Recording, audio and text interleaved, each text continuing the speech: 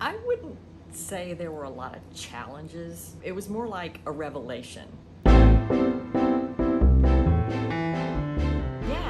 it's like uh, how cool voice acting is. When we started recording That Woman for the podcast, I had already been working on a stage play with uh, Scott Smith, the writer, dear friend of mine. We'd been working on it, I don't know, three, three and a half years, various incarnations of the play. I was feeling pretty sassy.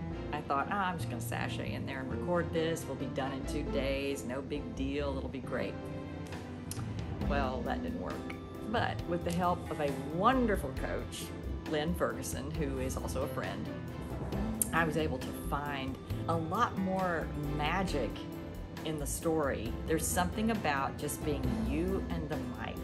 And in the process of, of recreating Wallis for the audio drama, I found so many magical moments that I hadn't found in the stage production.